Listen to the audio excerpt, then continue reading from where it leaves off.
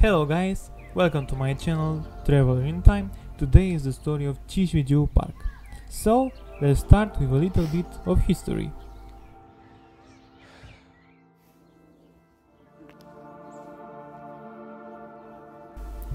The park was built in 1847 at a time when Bucharest was the capital of Wallachia on a site formerly known as Lacul Dura Neguțatorul or simply as Dura.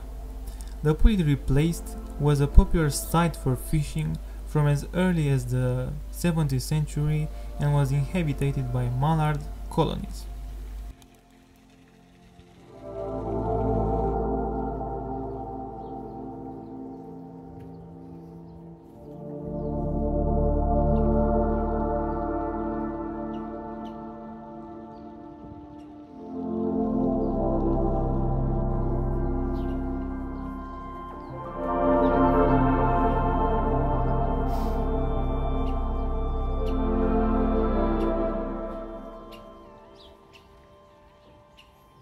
The word Cismigiu comes from Turkish.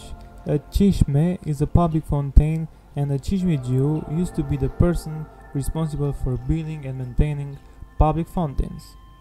Cismigiu continued to be developed by Mayer long after its official inauguration. In 1870, the horticulturist laid out a plan to redesign the lanes, to introduce an artesian aquifer, and to create a kiosk for an orchestra.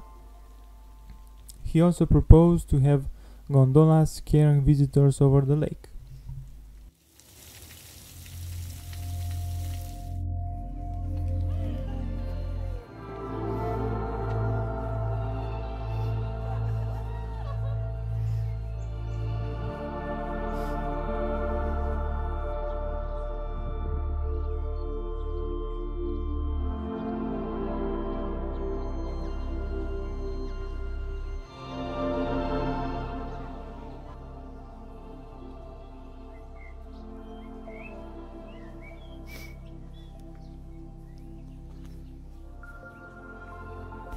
At that time, you could consider yourself privileged that you could go for a gondola ride on the lake because only people with money could afford such a pleasure.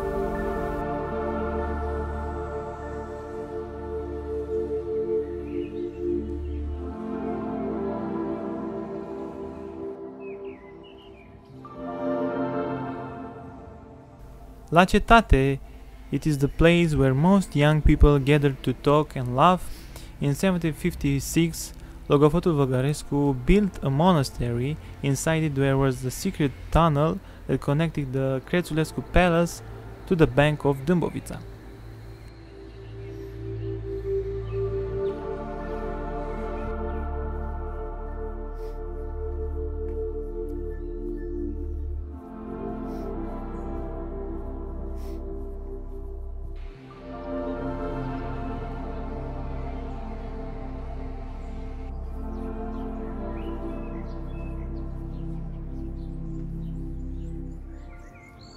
A very special place for peace and relaxation is the Romanian Round or Rondul Roman.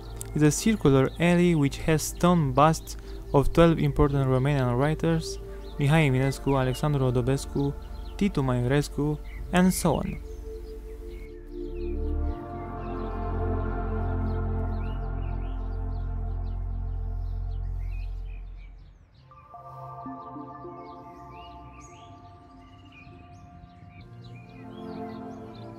In 1852, when the whole park was fenced off, the walk on the alleys of the park could be done from sunrise until 10 pm.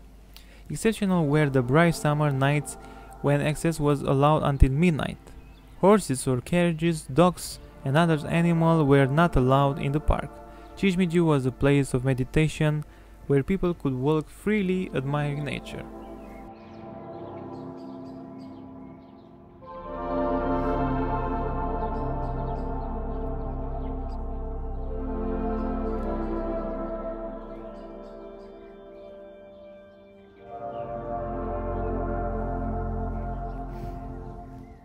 The park was clearly delimited after Bucharest became capital of the Romanian kingdom.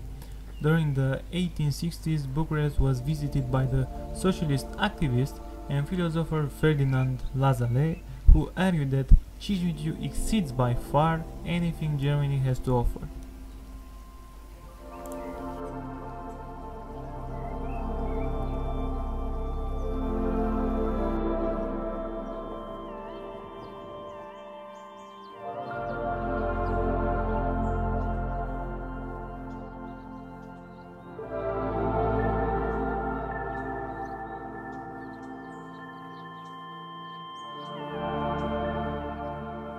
Once upon a time, Cismigiu was a small zoo. It housed bears, foxes, wolves, beavers, fish, swans, and many other living things. The animals were gradually removed because their care being quite expensive.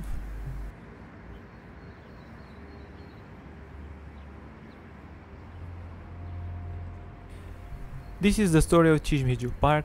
I hope you enjoyed this video. If you like it, please give a thumbs up and comment for any suggestion down below. Soon we'll travel back in time again.